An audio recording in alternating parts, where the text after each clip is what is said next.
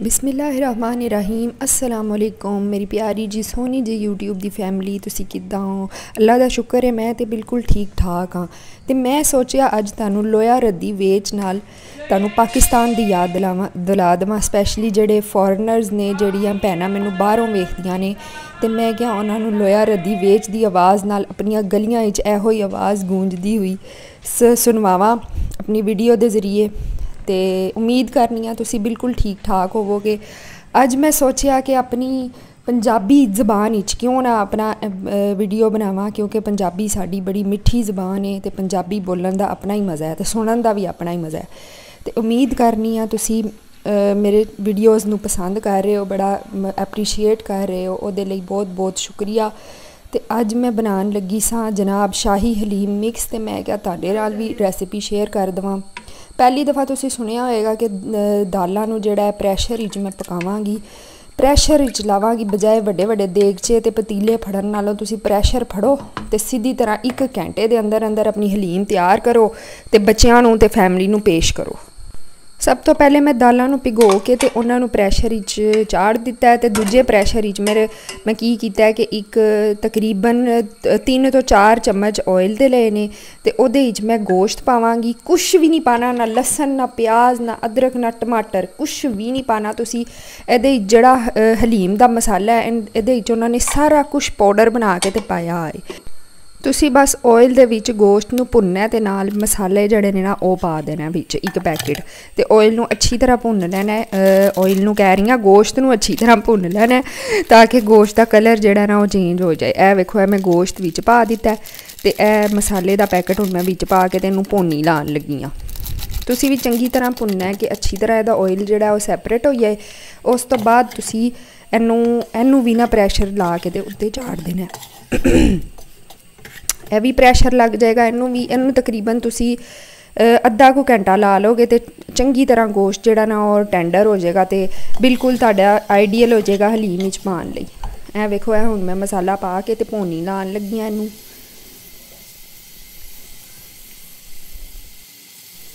ਇੱਥੇ ਵੇਖੋ ਇਹ ਗੋਸ਼ਤ ਬਿਲਕੁਲ ਭੁੰਨਿਆ ਗਿਆ ਇਹਦੇ ਵਿੱਚ ਵੀ ਅਸੀਂ ਹੁਣ 1 ਲੀਟਰ ਦੇ ਕਰੀਬ ਪਾਣੀ ਪਾ ਕੇ ਇਹਨੂੰ ਵੀ ਪ੍ਰੈਸ਼ਰ ਲਾ ਦਾਂਗੇ ਤਾਂ ਕਿ ਗੋਸ਼ਤ ਬਿਲਕੁਲ ਗਲ ਜਾਏ ਅੱਛੀ ਤਰ੍ਹਾਂ। ਔਰ ਸਾਨੂੰ ਮਿਹਨਤ ਨਾ ਕਰਨੀ ਪੜੇ, ਪਵੇ ਬਿਲਕੁਲ ਵੀ। ਕੋਟੇ ਛੋਟੇ ਲਾਣ ਦੀ ਅਸੀਂ ਕੋਟੇ ਛੋਟੇ ਕੋਈ ਨਹੀਂ ਲਾਣੇ ਹਲੀਮਾਂ ਨੂੰ। ਅੱਜ ਕੱਲ ਕਿਹੜੇ ਦੌਰ ਨੇ ਕੋਟੇ ਲਾਣ ਦੇ ਹਲੀਮਾਂ ਨੂੰ?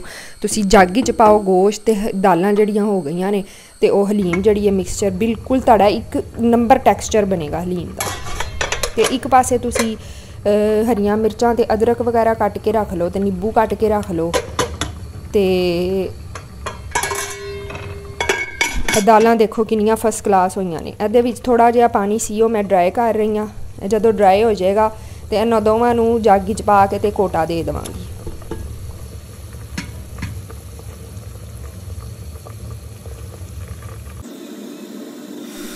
ਇੱਥੇ ਦੋਵਾਂ ਦਾਲਾਂ ਤੇ ਇਹ ਗੋਸ਼ਤ ਬਿਲਕੁਲ ਇਹਦਾ ਪਾਣੀ ਖੁਸ਼ਕ ਡਰਾਈ ਹੋ ਗਿਆ। ਹੁਣ ਅਸੀਂ ਇਹਨਾਂ ਨੂੰ ਜੱਗ ਵਿੱਚ ਪਾ ਕੇ ਕੋਟਾ ਦੇ ਦੇਵਾਂਗੇ।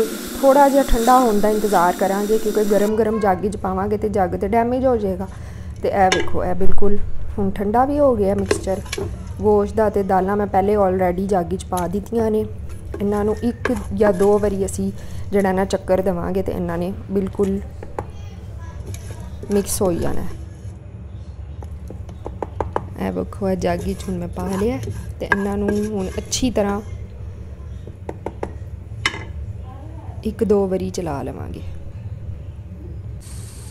ਇਹ ਵੇਖੋ ਇਹ ਸਾਡੀ ਹਲੀਮ ਜਿਹੜੀ ਹੈ ਹੁਣ ਪਤੀਲੀ 'ਚ ਮੈਂ ਟ੍ਰਾਂਸਫਰ ਕਰ ਦਿੱਤੀ ਹੈ ਤੇ ਇਹ ਵੇਖੋ ਕਿੰਨੀ ਇੱਕਦਮ ਅਦੀ ਤੁਸੀਂ ਕੰਸਿਸਟੈਂਸੀ ਵੇਖੋ ਤੁਸੀਂ ਟੈਕਸਚਰ ਵੇਖੋ ਤੇ ਕਲਰ ਵੇਖੋ ਹਲੀਮ ਦਾ।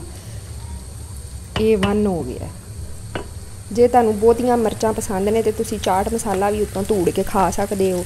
ਤੇ ਇਹ ਵੇਖੋ ਇਹ ਇੱਕ ਪਾਸੇ ਮੈਂ ਪਿਆਜ਼ ਫਰਾਈ ਕਰ ਰਹੀ ਹਾਂ ਲਾਲ ਪਿਆਜ਼ ਹਲੀਮ ਦੇ ਉੱਤੇ ਉਹਦਾ ਆਪਣਾ ਹੀ ਸਵਾਦ ਹੁੰਦਾ ਤੇ ਨਾਲ ਮੈਂ ਹਰੀਆਂ ਮਿਰਚਾਂ ਤੇ ਅਦਰਕ ਵੀ ਕੱਟ ਲਿਆ ਤੇ ਇਹ ਵੇਖੋ ਇਹ ਹੁਣ ਸਾਡੀ ਹਲੀਮ ਤਿਆਰ ਤੇ ਅਸੀਂ ਹੁਣ ਨੋਸ਼ ਫਰਮਾਨ ਲੱਗੇ ਆ ਉਮੀਦ ਕਰਨੀ ਆ ਤੁਹਾਨੂੰ ਅੱਜ ਦਾ ਮੇਰਾ ਵਲੌਗ ਬਹੁਤ ਪਸੰਦ ਆਇਆ ਹੋਵੇਗਾ ਜੇ ਪਸੰਦ ਆਇਆ ਤੇ give me a thumbs up like and subscribe my channel okay ਅੱਲਾ ਹਾਫਿਜ਼ ਔਰ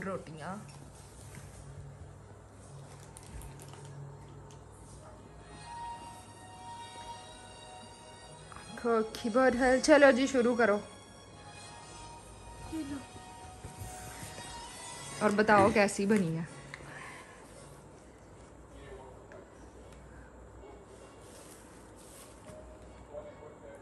बिस्मिल्लाह पढ़ के हम।